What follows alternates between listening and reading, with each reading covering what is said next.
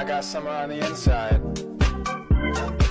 Eduardo Capetillo confiesa que quiere a Lucerito Mijares como su nuera. Lucerito Mijares ha dado bastante de qué hablar, sobre todo tras El Mago y su incursión al reality show Juego de Voces, dando momentos realmente asombrosos, llenos de talento, drama y emociones. Sino que en medio de todo esto nacería también su shipeo con el hijo del ex Timbiriche Eduardo Capetillo, Eduardo Capetillo Gaitán, mejor conocido como Lalo Capetillo, dando momentos entre familia que sin duda no se borrarán por un largo tiempo, como aquella ocasión que le dijeron que Eduardo Capetillo papá y el hijo olían realmente bien. Esto dicho por Angélica Vale, siendo ahora que el propio ex Timbiriche fue cuestionado acerca de varias cosas respecto con su hijo y directamente asociadas con la hija de Mijares, el soldado del amor, sino cuando los cuestionamientos si le gustaría que la hija de él fuera su nuera, respondió que no somos metiches para nada. dando a entender que respeta las elecciones de sus hijos. Le damos libertad absoluta para los hijos e hijas remarcó bajo sus palabras, haciendo reír a los reporteros tras mencionar. Luego creen que yo soy así como el ogro celoso. No, para nada. Le damos tanto a Vivi y yo libertad absoluta. No nos metemos en nada. Yo te puedo decir que lo que yo vi. Eduardo, mi hijo y Lucerito fue una amistad entrañable. Y la verdad es que es un amor bonito, de cuates. Ante esto, su esposa que se encontraba al lado, la cantante Vivi Gaitán, con una sonrisa que decía más que mil palabras, agregó. Claro,